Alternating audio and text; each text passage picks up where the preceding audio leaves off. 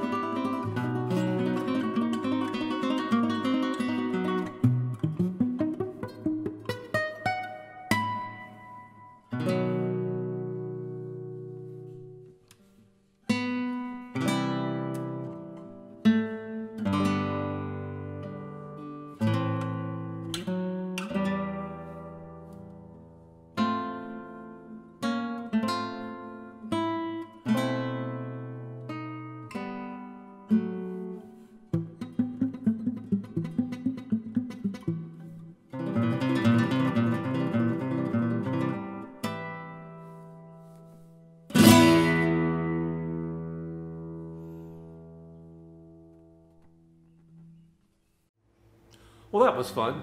Coming up next on Kitchen Concerts, I'll be doing a Bach Jig from the first cello suite. Anyway, now thanks for watching, and I'll catch you next time. Bye bye.